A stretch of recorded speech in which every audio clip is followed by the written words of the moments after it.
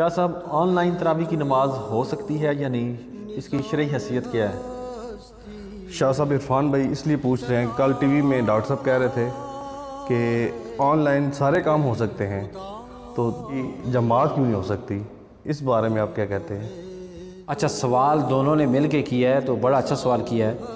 आपके सवाल के हिस्से की तरफ़ मैं आता हूँ। आपने डॉक्टर्स का हवाला दिया। मैं समझता हूँ कि जिसने भी टीवी पे कहा है वो फीमेल है या मेल है, वो डॉक्टर नहीं है। इसकी वजह यह है कि जो बंदा सही प्रोफेशनल होता है ना, वो अपने प्रोफेशन के साथ वाबस्ता होता है। कभी भी कभी भी वो वो दूसरे पेशे के अंदर दखल अंदाजी नहीं करता। इसलिए कि वो कॉम्पिटेंट नहीं होता दूसरे पेशे के लिए।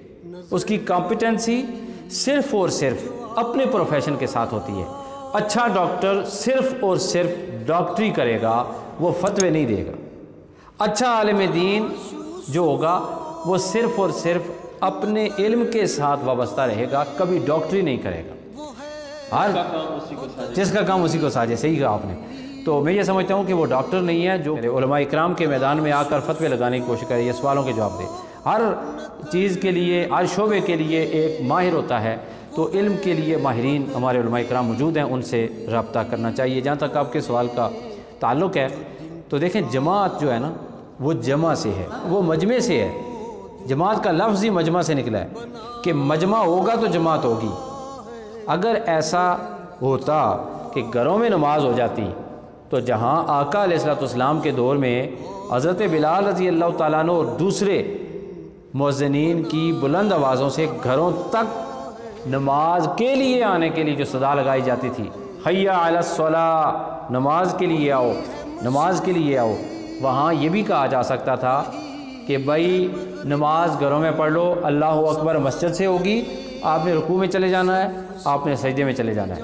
तो ऑनलाइन जमात की, न तरावी की कोई हैसियत है, न फ़र्ज़ की कोई हैसियत है, बिल्कुल कोई हैसियत ही नहीं। इसकी वजह यह है कि फासला है। अब जमात की नमाज़ में हम अगर नमाज़ पढ़ रहे हैं और मस्जिद की कोई सब खाली है और मस्जिद के बाहर एक नहर जा रही है, नहर के पार एक पार एक सफ़ खड़ी है तो फ़ुकाम कहते हैं नमाज़ नहीं हो क्यों?